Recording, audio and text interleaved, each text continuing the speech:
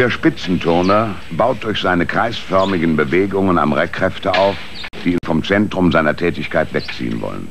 Löst er seinen festen Griff von der Stange, reißt die Haftreibung schlagartig ab und die Zentrifugalkraft zieht ihn tangential fort. Eben diese Zentrifugalkraft oder Fliehkraft wirkt auf jedes fahrende Auto ein, das sich auf einer Kurvenfahrt. Die Haftreibung zwischen Reifen und Fahrbahn ist bei normaler Fahrt ausreichend, um das Auto sicher auf der Straße zu halten. Diese Kraft ist abhängig vom Fahrzeuggewicht, vom Kurvenradius und von der Geschwindigkeit. Da das Fahrzeuggewicht konstant bleibt, wirken Radius und Geschwindigkeit aufeinander ein. Ist die Fahrbahn zudem glatt oder sandig, bricht das Fahrzeug recht schnell aus. Auf geradliniger Fahrbahn ist die Fliehkraft nicht spürbar. Doch schon die erste Kurve beweist ihr Vorhandensein. Sie zwingt den Gegenstand mit Macht aus seiner Lage.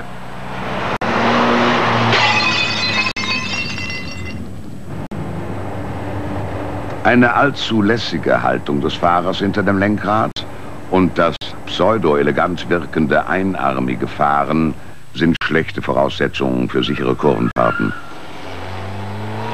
Die Zentrifugalkraft hat dann genauso leichtes Spiel mit dem Fahrzeug wie bei zu schneller Kurvenfahrt.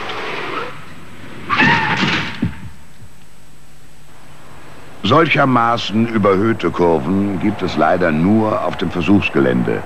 Im Straßenverkehr sind sie nicht zu realisieren, obwohl sie den Fliehkräften entgegenwirken. Der Motorradfahrer gleicht diese Kräfte durch Gewichtsverlagerung und Neigungswinkel aus.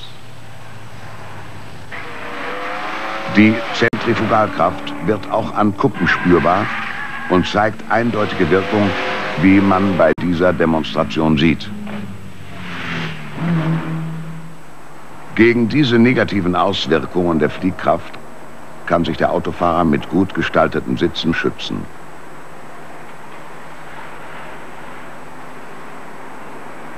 Doch so gut wie der Kontakt zwischen Sitz und Fahrer sollte auch der Kontakt zwischen Reifen und Fahrbahn sein. Reifen mit falschem Luftdruck und die, die stark abgefahren sind, wirken sich auf die lebenswichtigen Seitenführungskräfte sehr negativ aus. Glatte und schlecht geformte Sitze sorgen dafür, dass der Fahrer bei allzu beherzter Fahrt auch den Seitenhalt verliert. Die Zentrifugalkraft drängt also nicht nur den Fahrer von seinem Sitz, sondern auch das Fahrzeug von der Straße. Wer sich hier nicht Zurückhaltung auferlegt, muss einsehen, dass es keine Tricks gegen die Fliehkräfte gibt.